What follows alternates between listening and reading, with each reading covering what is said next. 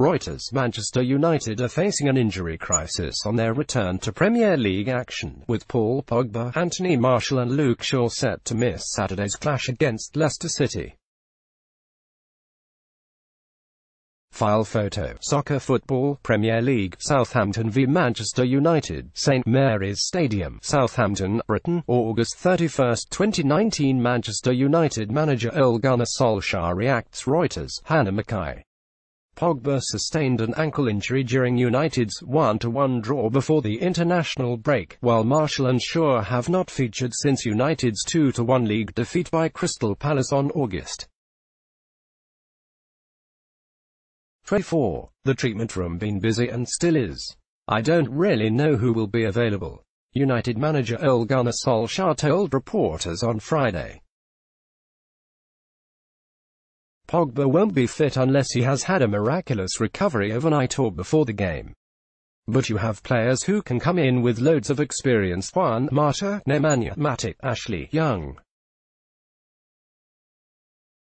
They're the ones who have to step up now. Diogo Dalot, who is nursing a hip injury, and Eric Bailly are also ruled out but Solskjaer is hoping that Aaron Wan-Bissaka and Jesse Lingard could be involved this weekend after late fitness tests.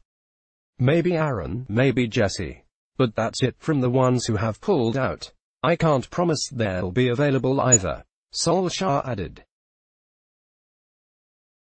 United are looking to turn their season around after failing to record a victory since the opening weekend.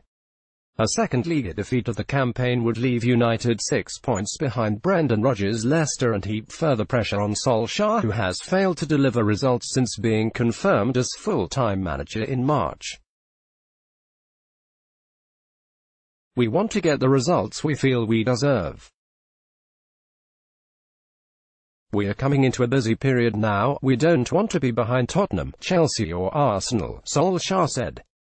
I don't want to talk too much about Leicester. I see them as a good team but Man United is the biggest and best club in the world.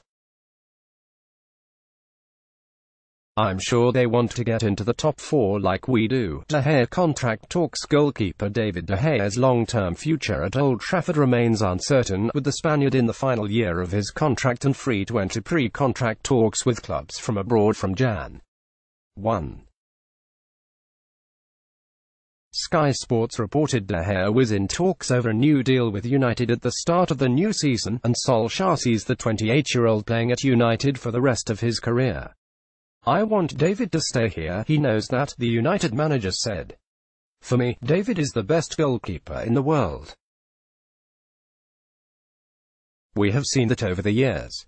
I hope I can make sure that he will finish his career at United at the highest level. There have been loads of talks and discussions between David and the club and hopefully we can get it done.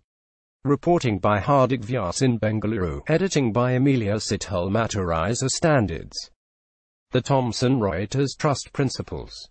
Let's block ads. Why?